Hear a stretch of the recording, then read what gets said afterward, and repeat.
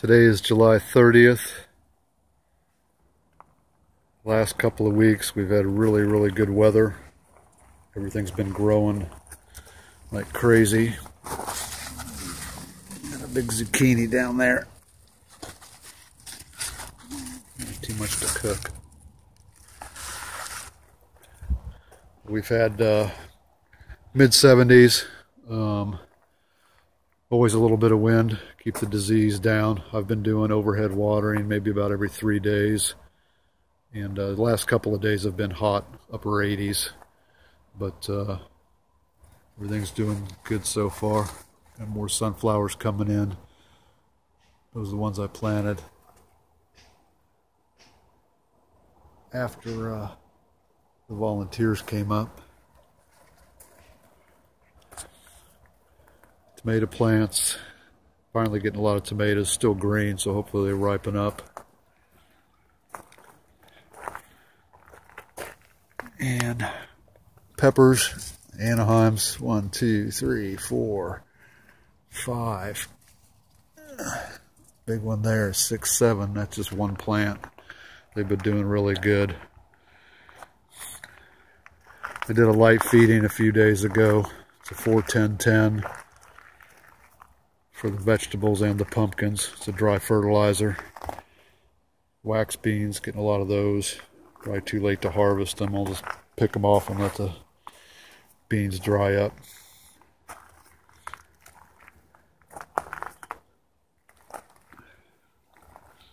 Sunflower.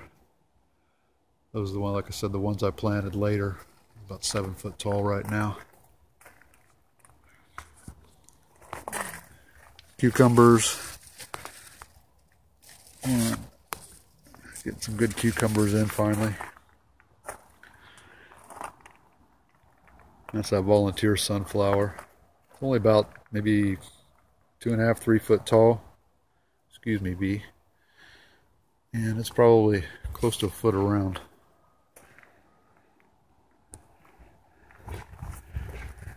pumpkin patch has been growing a lot.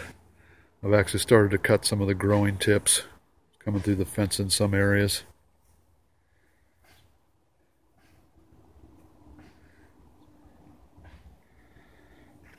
This is a speckled hound. Eh, that's maybe, I don't know, eight, nine inches across or so. it's got a little bit of a ring from the bloom. That's kind of cool. These are round. The ones on the backside from the other plant have more of a flattened, uh, flattened shape.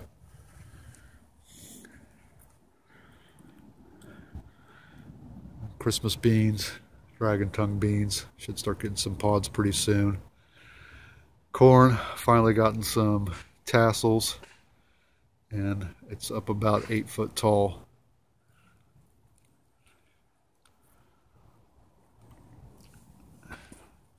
Hog panel. These are miniature variety pumpkins.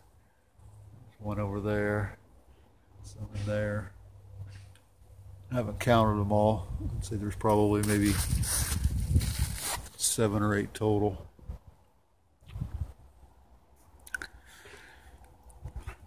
Squash. These are in the hay bales. Finally getting some uh, of the single serving butternuts. They're not very big. But I just saw those the other day. And I've had to cut back, like I said, growing tips and some of the leaves to get a pathway through this.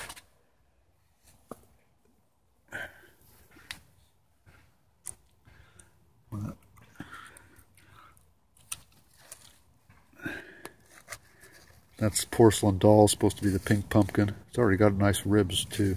It's kind of neat.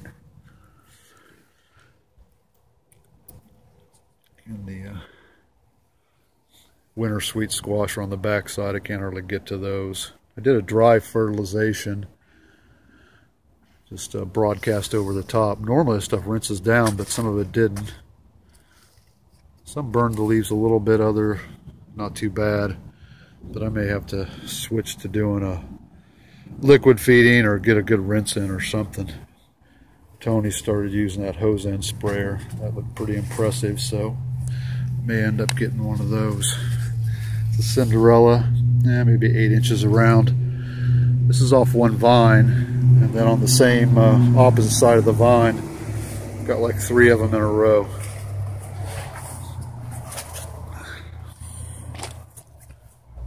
So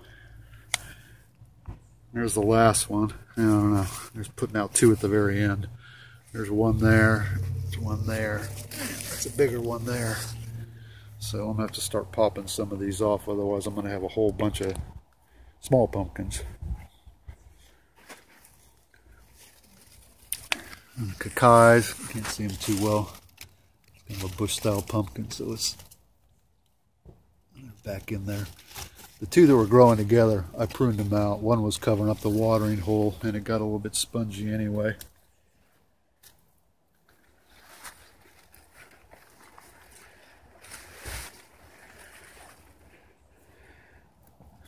And this is the only pumpkin on this whole plant. And it's gotten probably about the size I think it's supposed to get. A little crack right there. It just may have been growing too fast. Put a little mud and water, sealed it up. I think it'll be okay. That's the only pumpkin on that thing. This is the one that put out all the male blossoms. I guess one female. The other plant has had five pumpkins on it. So not a very good even distribution. This is a Long Island cheese. It's made it up to the top of the hog panel. I hope those come out because they're a neat looking pumpkin. No getting through that aisle. And this is the other speckled hound plant. Oops, sorry. I meant to do that.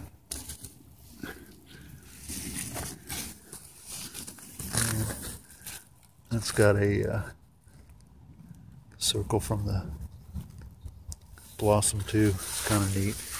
And see, these are flatter, flatter shape as they go down and on the top. And then uh, there's another one back in there, one farther back in there.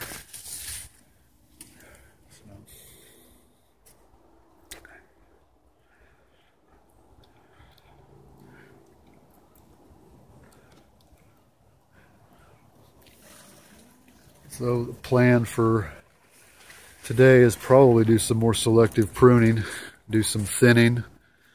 I just put out a little bit more lime, kind of a broadcast. And I've got uh, a 0050 powder. It's a high potassium that I want to try and get down. See if I can get some size out of the pumpkins.